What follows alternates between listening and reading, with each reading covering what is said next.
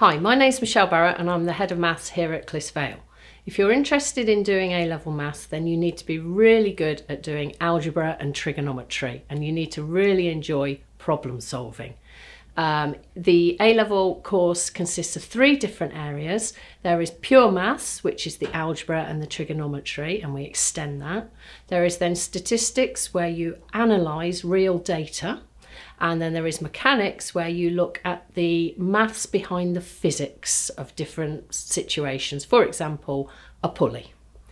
Uh, you will get a lot of homework. You have to do a lot of independent study. For every hour that you are taught, you should do one hour of independent study.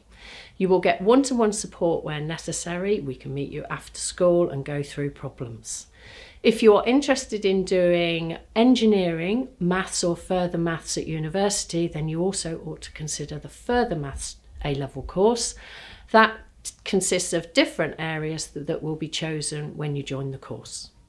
On the A level course, there are two years of exams. We do two exams in year 12 each one has pure maths in it. The first one has some stats and the second one has some mechanics.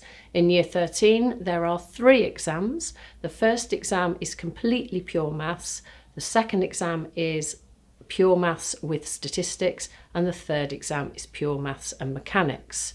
So your whole A level will consist of 50% pure mathematics, 25% statistics and 25% mechanics. If you think this course is for you, I would recommend that you speak to your maths teacher and they will be able to tell you whether it would be an appropriate course for you to follow.